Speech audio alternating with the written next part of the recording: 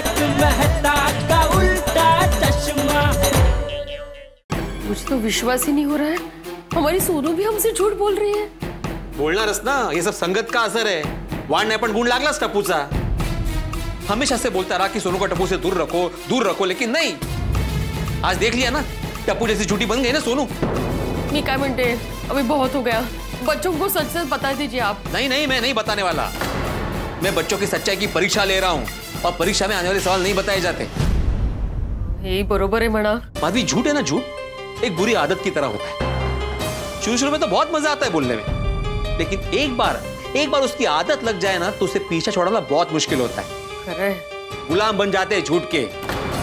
मैं देखना चाहता हूँ कि बच्चे इस बुरी आदत से लड़ते हैं या उसका शिकार बन जाते हैं। देखते हैं ना बच्चे और कितना झूठ बोलते हैं। Hello Bhide uncle hello Bhide uncle hello Madhavi hello Madhavi hello आगे तुम लोग लाए पैसे? भिड़ अंकल भूल गए? अरे पैसे तो गोली और पिंकू लेने गए ना। हम तो सोसाइटी में ही थे। अरे हो। हाँ, वो। हाँ, भूल ही गया मैं। तो गोया ने पैसे एक्सचेंज करवा लिए? नहीं अब तक नहीं। अरे कमाल है। मला कळत नाही माधवी गोळ्या बँक से पैसे एक्सचेंज करवाने गए कि कोयले की खान में हीरा ढूँढने गए? कुछ प्रॉब्लम तो नहीं है ना बच्चों? प्रॉब्लम है तो बताओ ना। नहीं बताएँगे वो। नहीं मतलब कुछ प्रॉब्लम ही नहीं है तो कहाँ से बताएँगे? होगी ना टपू अब तो पैसों का इंतज़ाम हो गया है। सच बोल के पैरों पे कुलाड़ी थोड़ी मारेंगे। नहीं नहीं नहीं कोई कोई प्रॉब्लम नहीं है भिड़ अंकल बट ओ, हम तो आपको बस पूछने आए थे कि आपको पैसे कैसे चाहिए? वाह व्हाट अ क्वेश्चन एक काम करना टपू ढोल ताशी बुक करना पूरी पाउडर गली में घूमना और सबको ढिंडोरा पीटना कि हम लोग भिड़ेंगल के पैंतीस हज़ार रुपए निकाल लाए हाँ? कैसे चाहिए का क्या मतलब है? अरे नहीं नहीं मतलब आपको अ, पैसे कौन से नोट में चाहिए? टाइम पास एक रुपए दो रुपए पाँच रुपए कैसे चाहिए? फॉर योर इन्फॉर्मेशन गोगी एक और दो रुपए के नोट तो बंद हो गए। और पाँच रुपए नोट के अगर पैंतीस हज़ार रुपए लेके आओ तो पूरा ट्रक भर के लाना पड़ेगा। कळलं तो आप अपनी चॉइस बताइए ना। सौ के दो सौ के पाँच सौ के दो हज़ार के कौन से नोट चाहिए? हो हो माधवी देखा तुमने डिटेलिंग देखी इन लोगों की हाँ? मतलब पैसे गोला निकलने वाले लेकिन ये डिटेल में पूछ रहे कि पैसे कैसे चाहिए। एक काम करना टप्पू दो हज़ार के दस नोट पाँच सौ के बीस नोट और बाकी बचे हुए दो सौ ठीक है? गोगी कितने में बताओ? हज़ार दो हज़ार तीन हज़ार चार हज़ार पाँच हज़ार छह हज़ार। अरे कमाल है गोगी दो हज़ार के दस नोट मतलब बीस हज़ार रुपए। पाँच सौ के बीस नोट मतलब दस हज़ार रुपए और बाकी बचे हुए दो सौ के। पाँच हज़ार रुपए काय म्हणजे वाह वीडियो अंकल आपका मैच तो एकदम स्ट्रॉन्ग है। अरे मंजे बहुत सारी चीज़ों में स्ट्रांग हूँ मैं बेटा। अब सुनो तू ये बात गोली को बता दे हाँ। उधर का जा रही है? बालकनी में। क्यों? गोली नीचे खड़ा है बड़ा। नहीं नहीं नहीं नहीं। वो तो बैंक में गया है ना। अच्छा तो बालकनी में जाके चिल्ला होगी गोळ्या को पैसे लवकर आणो ऐसे ऐसे पिंकू अरे सोनू कब आएगी यार? खड़े खड़े नींद आ रही है इधर बोली इधर तेरी आँखों में से उंगलियाँ डालता हूँ ना तो तेरी नींद उड़ जाएगी। सॉरी सॉरी एक्चुअली बालकनी में नेटवर्क थोड़ा बरोबर आता है तो बात ठीक से हो पाएगी। नहीं यहाँ तो अच्छा नेटवर्क मिलता है। नहीं वो आपका वोडाफोन है और मेरा एयरबेल है। दो तीन दिन से एयरबेल नेटवर्क में प्रॉब्लम आ रही है। तो बालकनी में ठीक से पकड़ता है। अरे तो मेरे फ़ोन से करो ना ये देखो नेटवर्क फुल है ये लो।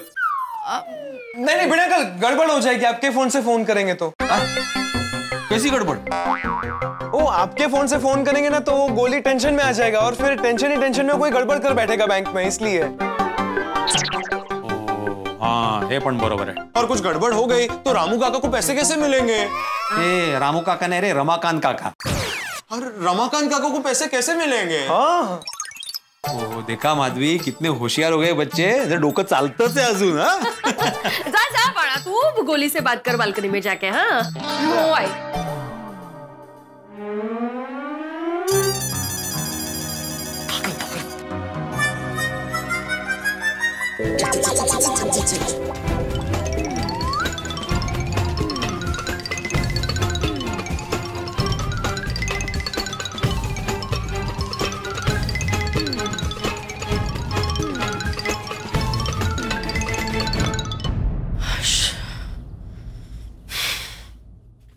हो गई बात। हो गई हो गई। इतनी जल्दी हो गई बात? अब हाँ बाबा वो मेरा फ़ोन एक ही बार में उठा लेता है। हम्म इनका अंदर का नेटवर्क स्ट्रांग है ना? अच्छा फ्रेंड्स अब काम हो गया तो चलो चलते हम चलो। अरे लेकिन डब्बू गोया को तो आने दो वो आए फिर चले जाना। नहीं नहीं वो भिड़े अंकल हम नीचे जाके गोली का वेट करते हैं वो आधे घंटे में आ जाएगा। तो जैसे ही आते ना हम लोग पैसे लेके ऊपर आते हैं ठीक है? हाँ, चलो चलो चलो चलो चलो bye Bhide uncle bye bye bye देखा? इनका झूठ का नाटक चल ही रहा है।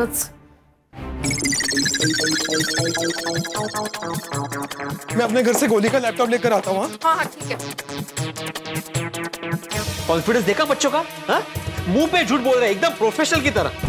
बच्चे बच्चे बहुत गलती कर रहे हैं। अरे क्या कब से बच्चे बच्चे बोल रहे हैं हम लोग? ये ये बच्चे हैं हाँ? ये बच्चे हैं। अरे इतनी फास्ट मशीन से बुलेट भी नहीं निकलती जितना फास्ट इनके मुँह से झूठ पे झूठ निकल रहे हैं। आप शांत हो जाइए। अरे कैसे शांत हो जाओ माधवी? अभी पता है ना ये लोग यहाँ पे क्यों आए थे?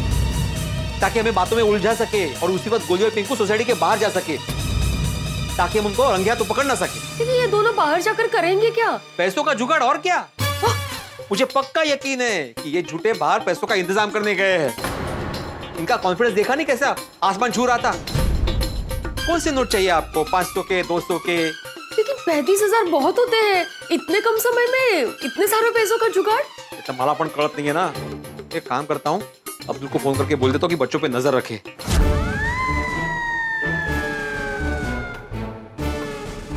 क्या बात है गोली? तो बोतल पानी पी गए। कोई टेंशन है क्या? टेंशन? पिंकू बता। मैं क्या बताऊँ गोली? तेरा टेंशन है तू बता। तो क्या हुआ गोली पिंकू? सब ठीक है ना? नहीं कुछ ठीक नहीं है। प्रॉब्लम में वही बताने वाला है। नहीं अब्दुल भाई कोई कोई उससे कोई प्रॉब्लम नहीं है। हाँ। नहीं नहीं है। तभी तो इनके चेहरे उतरे हुए लग रहे हैं। अगर बच्चों लोग ने अपनी प्रॉब्लम बता दी तो मैं इनको समझा दूँगा कि बड़े भाई को जाके सच बता दो। चल टप्पू चले। हाँ चलो चलो फ्रेंड्स चलते हैं। हाँ चल। गोली। जैसे गम बताने से कम होता है वैसे ही प्रॉब्लम बताने से उसका सोल्यूशन निकलता है है ना? करेक्ट करेक्ट अब्दुल भाई। हमें पहले प्रॉब्लम थी फिर हमने एक दूसरे से शेयर किया ना तो हमें सोल्यूशन मिल गया उसका। हाँ मिल गया? हाँ हाँ मिल गया मिल गया। वो सॉल्यूशन लेने जा रहे हैं अभी हम। है?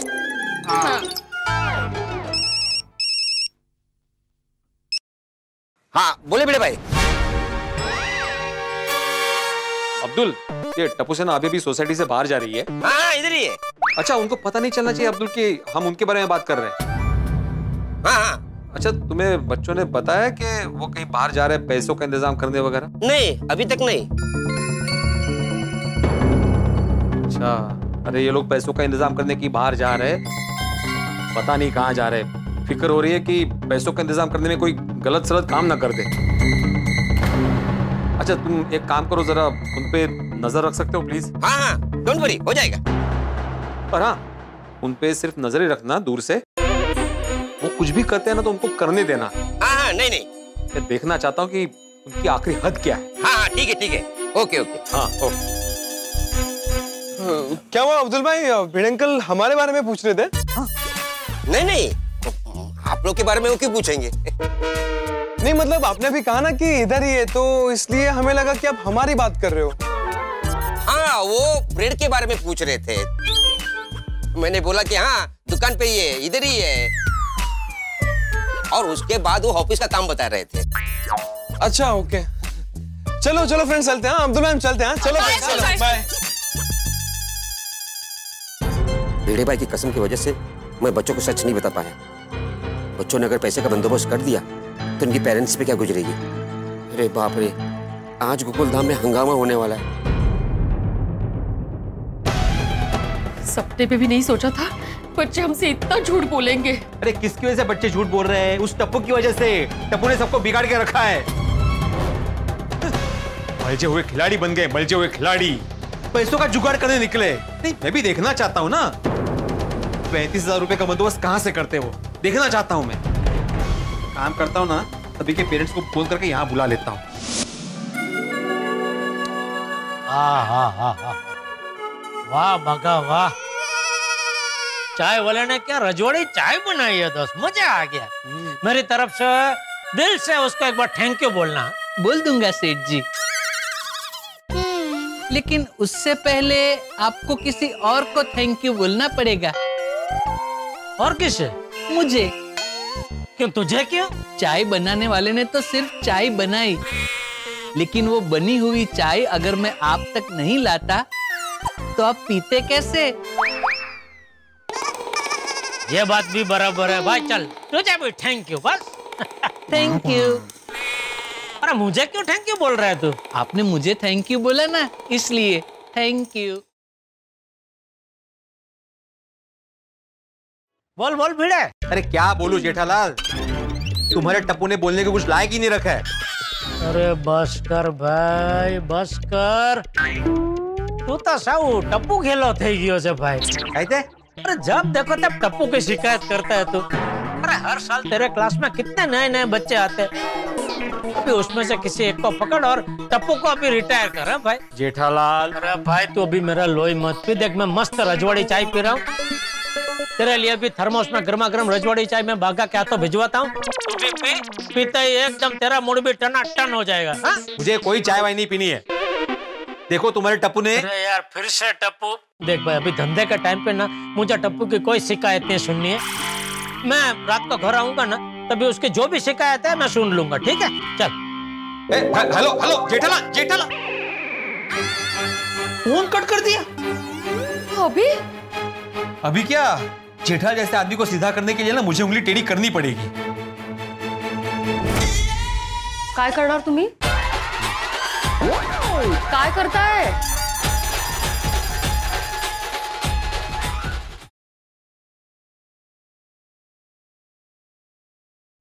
अरे यार तू एक नंबर का जिद्दी है भाई मैंने बोला ना भाई समझता क्यों नहीं है?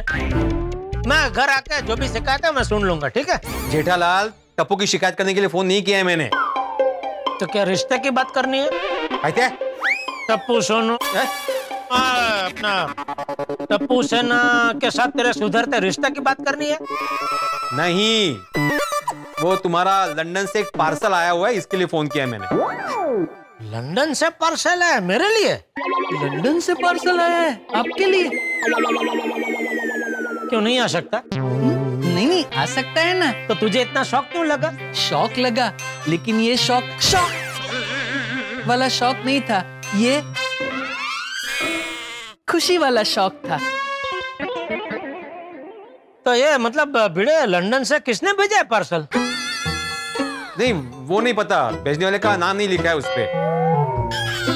और घर पे रिसीव करने के लिए टप्पू भी नहीं है। अरे तो बापू जी को बोलना वो ले लेंगे। अरे चाचा जी भी घर पे नहीं है भाई। तो एक काम करना तू ले लेना।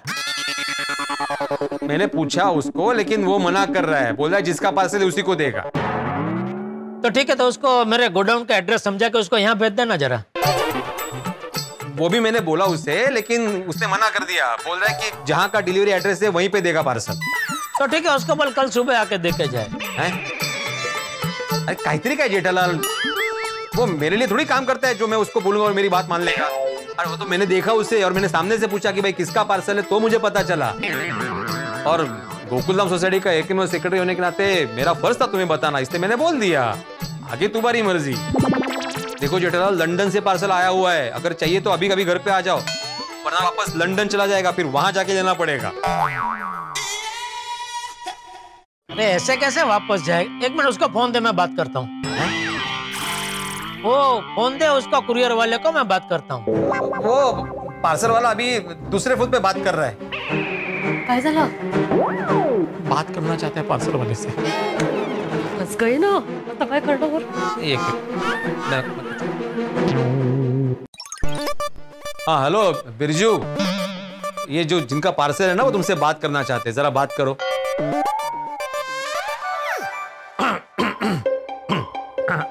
अरे इतना क्या गला साफ़ कर रहे हो भाई? सिर्फ़ बात करने को बोला है गाना गाने को नहीं। हाँ जी बिरजू बोल रहे हैं फास्ट फ़ूड कंपनी से। देखो बिरजू भाई ये पार्सल आप जरा इनको दे दो। ये हमारे सोसाइटी का सेक्रेटरी है बहुत अच्छे आदमी है वो मुझे दे देंगे हाँ? नहीं दे सकते ना हमारे कंपनी की पॉलिसी है। और स्ट्रिक्ट इंस्ट्रक्शन भी है कि जिसका पार्सल है उसी को दिया जाए बाकी किसी और को नहीं दिया जाए। अगर आप पार्सल नहीं लेते तो मैं पार्सल वापस भेज दूँगा। अरे भाई एक काम करो एक पचास सौ रुपया ले लो और दे दो पार्सल हाँ? ओ जेठालाल घुस क्या दे रहे हो? डिलीवरी वाले को। फ़ोन के स्पीकर पे? हाँ? अरे आप भी बोलो ना भाई साहब आप घूस नहीं लेते करके आप क्या खड़े हो? हाँ बिल्कुल हम घूस नहीं लेते साहब। पचास सौ रुपया क्या? आप हज़ार रुपया दोगे ना तो भी नहीं लाएँगे तो भी पार्सल यहाँ पे नहीं छोड़ेंगे हाँ। सुना जेठालाल? ईमान नाम की कोई चीज़ होती है हर कोई बिकाऊ नहीं होता है। ये पक्का हो गप बस ना कहते हैं? अपना आ, क्या नाम आपका? आत्माराम तुकाराम भिड़े। अरे तुझे नहीं पूछ रहा हूँ भाई और कुरियर वाले को पूछ रहा हाँ, बिरजू बिरजू बोल रहे साहब बिरजू। हाँ बिरजू भाई देखो ठीक है मैं अभी आता हूँ उधर। लेकिन आप निकल मत जाना हाँ मैं आता हूँ अभी। बस पंद्रह बीस मिनट रुकेंगे साहब उसके बाद निकल जाएँगे बिल्कुल नहीं रुकेंगे। आप जल्दी आना हमेशा की तरह लेट मत करना। क्या? जेठालाल अभी जल्दी यहाँ पे आ जाओ टाइम वेस्ट मत करो बातों में हाँ? हाँ आता हूँ आता हूँ चल। जल्दी आओ जल्दी आओ। बगा मैं जरा घर जाके आता हूँ। क्या लगता है सेठ जी? लंदन से पार्सल किसने भेजा होगा? क्या पता? कहीं ऐसा तो नहीं। आपका कोई पुश्तैनी रिश्तेदार वहाँ रहता हो जिसने दुकान या फिर एक घर का आपको वारिस बना दिया हो उसके कागजात होंगे शायद। जहाँ तक मुझे पता है हमारे पूरे खानदान में इकलौता मैं ही हूँ जो लंदन गया हूँ। तो फिर लंदन से आपके लिए पार्सल किसने भेजा होगा? कुछ समझ में नहीं आ रहा है। वो तो अभी वहाँ जाके पार्सल खोल कर देखूँ तो कुछ पता चले। चल आता हूँ मैं। जी। एक। अरे ना भाई। अब देखना कैसे भागते हुए आता है जेठालाल यहाँ पे। टप्पू के पापा हो गए अभी गोगी के पापा।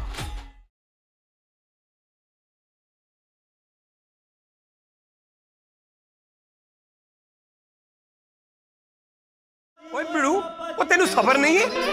कहते सुबह ही तो गए रात तक आ जाएगा। अरे कौन गया है? कौन आ जाएगा?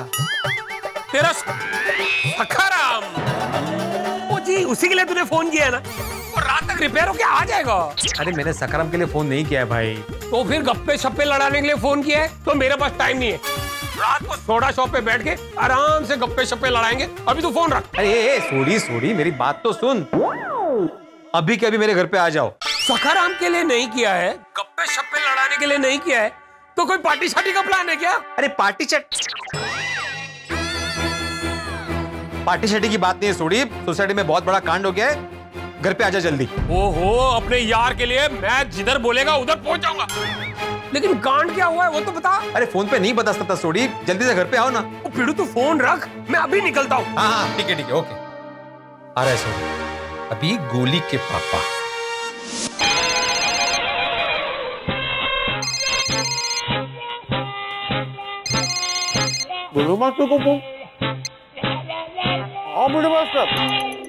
हेलो हाँ बोलो हाथी भाई आपकी आवाज़ को क्या हुआ? समोसे खा रहा हूँ। ओह अच्छा अच्छा। एक मिनट हाँ। हाँ हाँ ठीक है।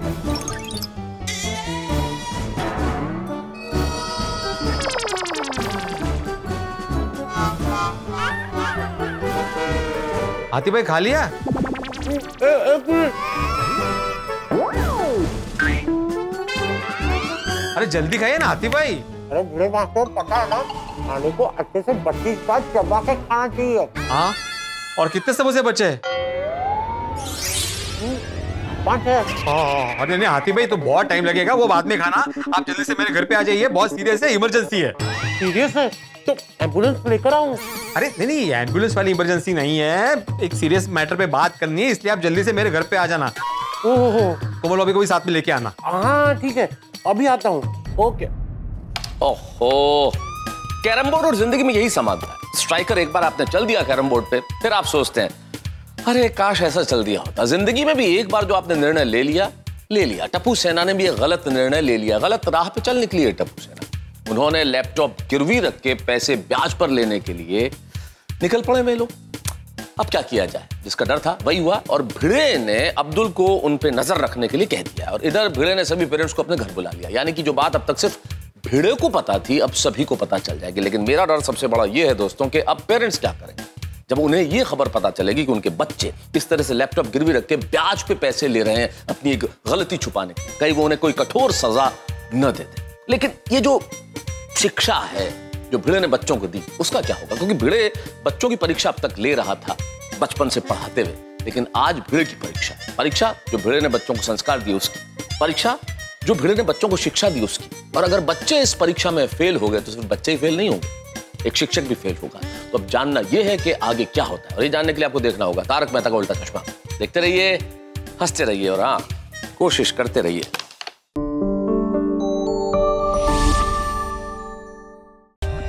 For more updates, subscribe to our channel, click the show links and enjoy watching the videos.